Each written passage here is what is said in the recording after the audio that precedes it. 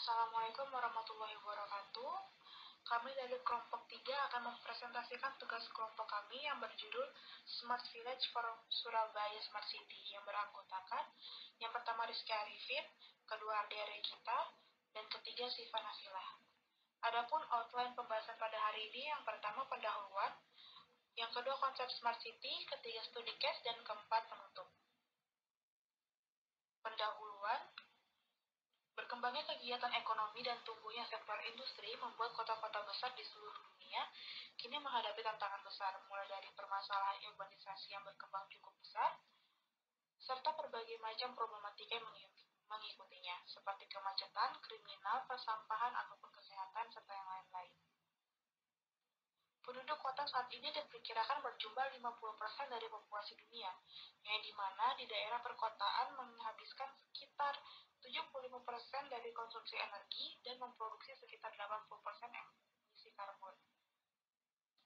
Smart City sendiri merupakan konsep kota cerdas yang membantu masyarakat yang berada di dalamnya dengan mengolah sumber daya yang ada dengan efisien dan memberikan informasi yang tepat kepada masyarakat dan lembaga di dalamnya, serta melakukan kegiatan ataupun mengantisipasi kejadian yang tidak terduga. Oke, untuk bagian Smart City akan dijelaskan oleh Muhammad Rizky Arifin. Pengertian Smart City secara umum itu adalah konsep perencanaan kota dengan memanfaatkan perkembangan teknologi yang akan membuat hidup yang lebih mudah dan sehat dengan tingkat efisiensi dan efektivitas yang tinggi.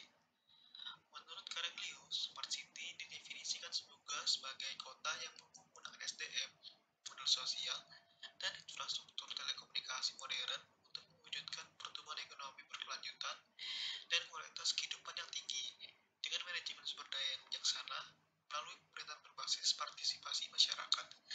Menurut Cohen Boyd, Smart City atau kota pintar merupakan sebuah pendekatan yang luas terintegrasi dalam meningkatkan efisiensi pengoperasian sebuah kota, meningkatkan kualitas hidup penduduknya, dan menumbuhkan ekonomi daerahnya. Dan menurut Kortin dan Camp, Smart City merupakan hasil dari pengembangan pengetahuan yang insentif dan strategi kreatif dalam peningkatan kualitas sosial, ekonomi, ekologi, dan daya kompetitif kota. Menurut Givinger, Smart City terbagi menjadi enam dimensi. Yang pertama, smart economy yang terdiri dari innovative spirit, entrepreneurship, economy image, dan trademark, productivity, flexibility of labor market, international embeddedness, dan ability to transform. Yang kedua, smart people, yang terdiri dari level of qualification, affinity to lifelong learning, social and ethnic plurality, flexibility, creativity, cosmopolitanism, open-mindedness, dan participation, participation in public life. Yang ketiga terdapat smart governance, yaitu partisipasi in decision making, public and social service, transparent governance, and political strategies perspective. Yang keempat terdapat smart mobility, yang terdapat local accessibility, international accessibility, availability, availability of ICT infrastructure, sustainable, innovative, and safe transport system. Yang kelima, terdapat smart environment, yaitu attractivity of natural condition, pollution, environmental protection, and sustainable research management. Dan yang terakhir, smart living, terdiri dari cultural facilities, health condition,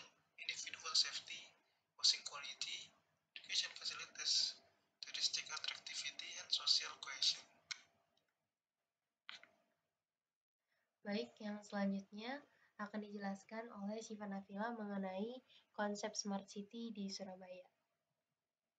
Kota Surabaya sendiri merupakan salah satu kota di Indonesia yang sedang berkembang menuju Smart City dalam bidang permukiman. Untuk luas permukiman sendiri sekarang eh, di Kota Surabaya sekitar 16.051,51 hektar atau sekitar 49% dari luas Kota Surabaya berdasarkan RT RW Surabaya tahun 2014 tahun 2034. Nah, untuk urban village sendiri merupakan ciri khas kota Surabaya yang harus dipertahankan dengan memanfaatkan uh, kondisi perkembangan kota yang pesat menuju smart city. Nah, Surabaya ini dikenal memiliki potensi pengembangan permukiman perkotaan dengan kinerja kelas dunia. Hal ini merupakan peluang dalam perwujudan kota Surabaya menuju smart city melalui bidang permukiman. Nah, selanjutnya di sini ada kriteria pengembangan kelurahan menuju Surabaya Smart City karena dalam uh, dalam menentukan kriteria Smart Village hingga Surabaya Smart City itu membutuhkan perbandingan data yang diperoleh dari pihak pemerintah dan akademisi untuk memperoleh hasil yang dapat mewakili kriteria kepentingan bersama. Nah, berikut ini adalah uh, kriteria dari pengembangan kelurahan menuju Surabaya Smart City. Nah, yang pertama di sini ada kriteria pengembangan Smart Village di Kampung Margo Rukun uh, juga ada kriteria pengembangan Smart Village di Kampung Lawas Maspati. Lalu yang ketiga ada hasil kriteria pengembangan Smart Village di Surabaya. Untuk yang pertama ada kriteria kegiatan ekonomi rumahan dengan mencocokkan perkembangan teknologi. Lalu di ke di kampung Lawas Mati pun sama ada kegiatan ekonomi rumahan dengan memasukkan kegiatan berbasis teknologi. Lalu untuk di Surabaya sendiri ada kegiatan ekonomi rumahan Tercapainya kriteria ini saat kegiatan ekonomi dilakukan berbasis teknologi yaitu internet. Untuk yang kedua, kriterianya dari kenyamanan, yaitu ada kenyamanan aksesibilitas, kemudahan berkomunikasi internal ataupun eksternal, secara langsung atau tidak langsung, serta kemudahan dalam beraktivitas. Nah, ini adanya fasilitas lingkungan dan fasilitas yang tersedia.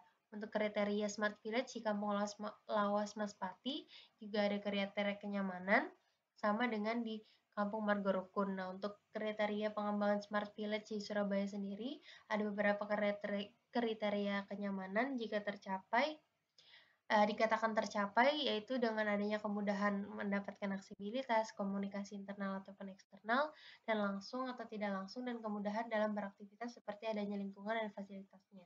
Lalu yang ketiga ada kriteria yaitu masyarakatnya mampu menggunakan teknologi. Ini sama di kedua Kampung Margo Rukun dan Kampung Lawas Maspati. Untuk kriteria pengembangan Smart Village di Surabaya, ini dikatakan tercapai apabila penggunaan teknologi secara umum dan internet secara spesifik digunakan dalam aktivitas masyarakat secara sehari-hari. Nah, untuk yang keempat di sini ada kriteria kondisi infrastruktur di Kampung Margo Rukun yaitu penuh dengan kelengkapan fasilitas lingkungan dan di tempat kerja. Nah, untuk kriteria pengembangan Smart Village di Surabayanya yaitu adanya infrastruktur yang memadai dinyatakan dengan adanya kelengkapan infrastruktur dengan kedua fasilitas lingkungan dan publik. Lalu untuk yang kelima ada kriteria pengimplementasian kegiatan pengelolaan limbah air dan pengelolaan sampah masyarakat. Lalu juga ada di kriteria pengembangan Smart Village di Kampung Lawas Maspati yaitu adanya program peningkatan kualitas lingkungan dengan memfasilitasi lingkungan dan masyarakat. Untuk kriteria Smart Village di Surabayanya yaitu adanya implementasi dari kegiatan pengelolaan limbah air dan pengelolaan sampah masyarakat. Ini dikatakan tercapai dengan adanya catatan kegiatan yang diadakan di setiap desa. Lalu yang keenam ada kriteria pengembangan Smart Village di Kampung Margo Rukun dengan adanya kegiatan pemberdayaan masyarakat dalam pengembangan desa, yaitu adanya kegiatan partisipasi dari masyarakat dalam program pelatihan untuk di Kampung Lawas Maspati yaitu juga sama ada kegiatan pemberdayaan masyarakat dalam pengembangan desa.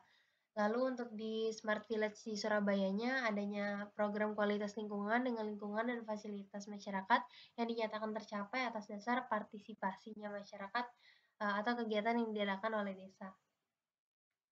Untuk yang ketujuh ada di Kampung Margo Rukun, di mana masyarakat dapat uh, menerima hal baru dalam adaptasi. Lalu untuk yang di Smart Village sendiri e, merupakan proses masyarakat menerima hal baru dalam beradaptasi.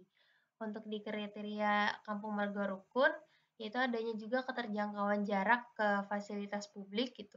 E, ini merupakan kapasitas dengan jarak ideal kemampuan seseorang berjalan sebagai pengguna lingkungan hingga penempatan fasilitas lingkungan dan infrastruktur.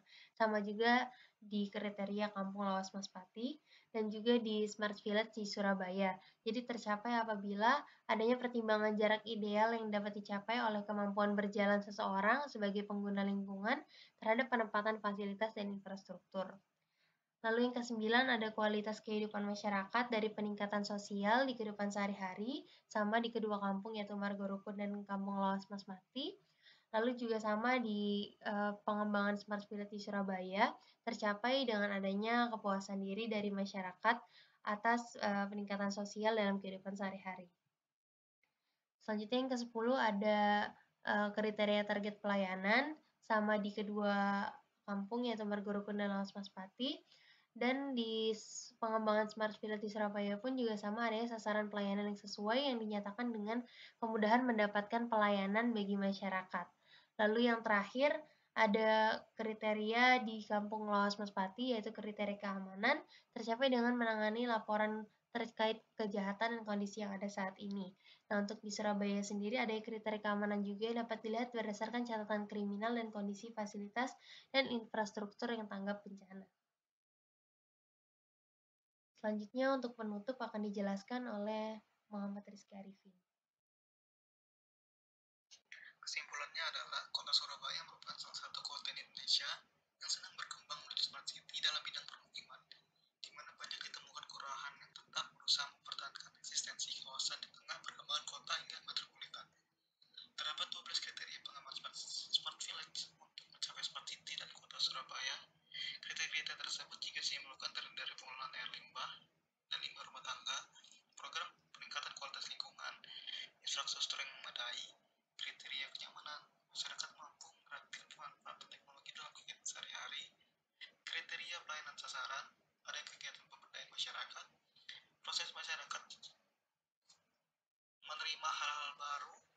investasi, kegiatan ekonomi bersih rumah tangga, kriteria keamanan, kriteria keterjangkauan jarak ke fasilitas umum, dan kualitas hidup masyarakat.